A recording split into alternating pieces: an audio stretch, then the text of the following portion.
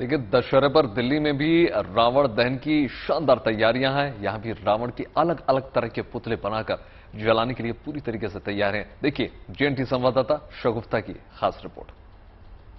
रावण का ये मार्केट रावण के पुतलों से पटा पड़ा है और इस वक्त मेरे साथ रावण बनाने वाले रावण का निर्माण करने वाले संजय जी मौजूद हैं। उनसे जानते हैं कि इस बार किस तरह के ऑर्डर्स उनको रिसीव हुए हैं।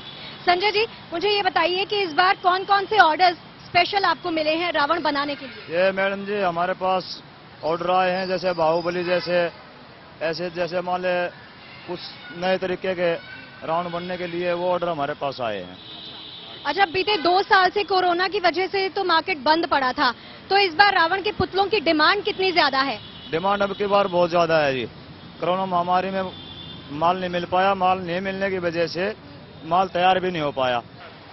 देखिए, रावण के पुतलों की डिमांड इतनी ज़्यादा हो गई है मार्केट में। स्टाइलिश रावण आप मार्केट में देख सकते हैं, लेकिन सबसे ज़्यादा क्रेज जो है वो बच्चों में देखा जा सकता है। एक छोटी सी क्यूट सी बच्ची है, केशिका नाम है, इन्हीं से जानते हैं कि रावण को लेकर कितनी एक्साइटेड है। मुझे ये बताइए कि आप रावण को सिलेक्ट करने आई हैं तो कैसा होना चाहिए रावण का पुतला?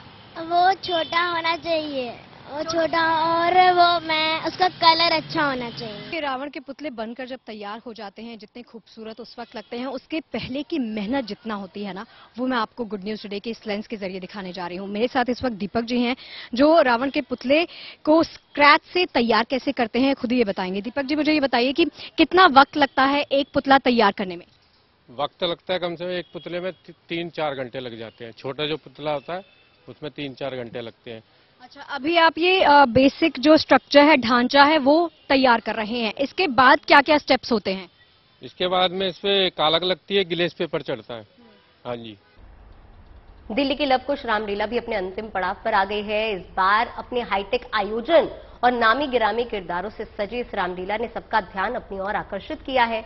आज का दिन लवकुश रामलीला में बेहद खास होने वाला है क्योंकि आज यहाँ रावण दहन की तैयारियाँ अलग अंदाज में की गई हैं। आप लवकुश रामलीला देखने पहुँच रहे हैं। देश के किसी भी इलाके से या फिर विदेश से भी तो मेट्रो का इस्तेमाल करें, क्योंकि जो ट्रैफ़िक को लेकर नियम यहाँ पर है और खासतौर पर जिन रोडों को बंद किया गया है, उससे आपको समस्या ना हो। एक महत्वपूर्ण बात यह भी कि जो पुतलों को तैयार किया गया है पोल्यूशन फ्री है। पेपर घास का इस्तेमाल किया गया इलेक्ट्रिक लाइट का इस्तेमाल किया गया है लोगों के आकर्षण के लिए, लेकिन पटाखे बम नहीं लगाए गए हैं। 2018 का जो साउंड ट्रैक था, उसे इस्तेमाल किया जाएगा ताकि आकर्षण का जो स्तर है, वो लेवल अप हो जाए। तो प्रदूषण बिल्कुल नहीं फैलाना है। आप भी अपने घरों पर अगर पुतले जला रहे हैं, दिवाली पर क्रैकर जलाएँगे तो प्रदूषण से बचिए देश को बचाइए राजधानी को बचाइए।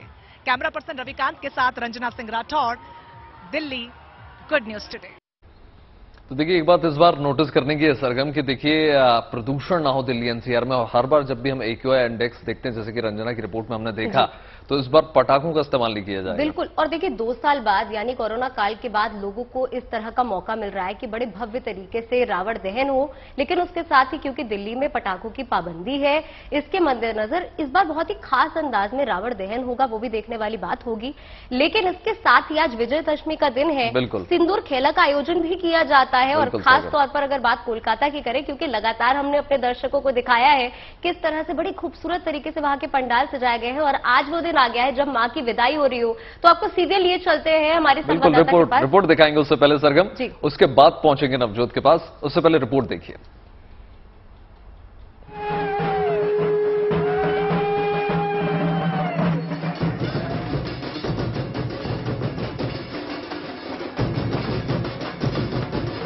आज विजयादशमी है यानी माँ की विदाई का दिन। बंगाल में चला आ रहा तीन दिन का ये दुर्गा उत्सव आज खत्म हो जाएगा।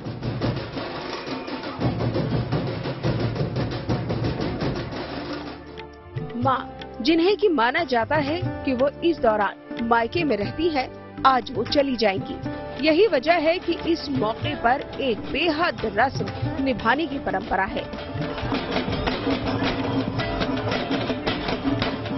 इस परंपरा को जाना जाता है सिंदूर खेला के नाम से। आपने भी अपने शहर के बंगाली समिति के बनाए पंडाल में ये दृश्य ज़रूर देखा होगा। शहर में छपे अखबारों और टीवी की कलाकारों में भी आपने सुना होगा कि सिंदूर खेला हुआ। तो आइए आपको बताते हैं कि असल में ये सिंदूर खेला है क्या।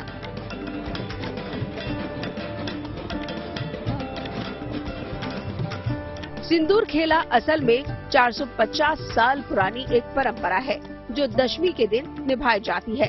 इस दिन महिलाएँ पान के पत्ते पर सिंदूर रखती है। पहले इन पत्तों से माँ का चेहरा साफ़ किया जाता है और इसके बाद सिंदूर से माँ की मांग भरी जाती है।